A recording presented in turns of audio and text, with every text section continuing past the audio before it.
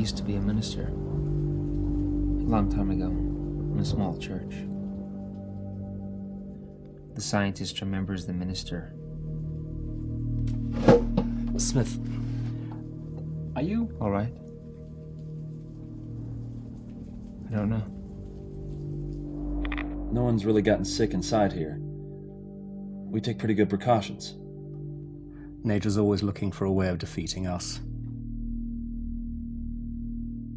But then again, look at the way the world is today. We made this environment.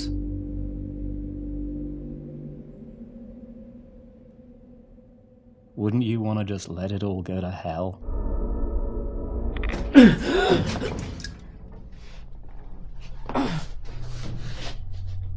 I'm getting sick.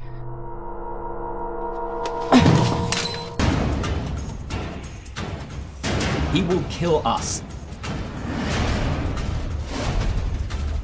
What did you do with him? What do we have here?